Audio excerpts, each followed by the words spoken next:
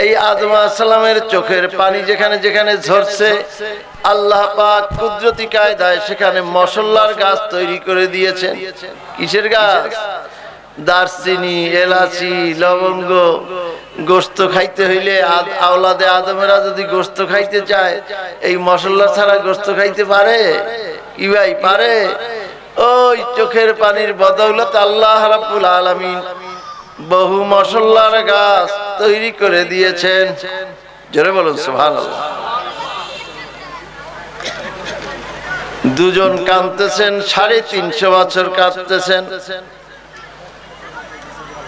আল্লাহ পাকের দরবারে ওই কাদাটা আর সহ্য হয় নাই।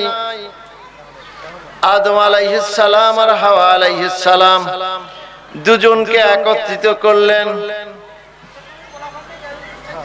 আরাফাত নামক আরাফাত, আরাফাতের ময়দানে হাজি সাহেবরা আছেন মাঠে। আরাফার ময়দানে ওই যে জামালে রহমত, একটা পাহাড় দেখছেন। পাহাড়টার উপরে একটু চুনা দিয়ে উঁচু একটা পিলার করা আছে কিনা?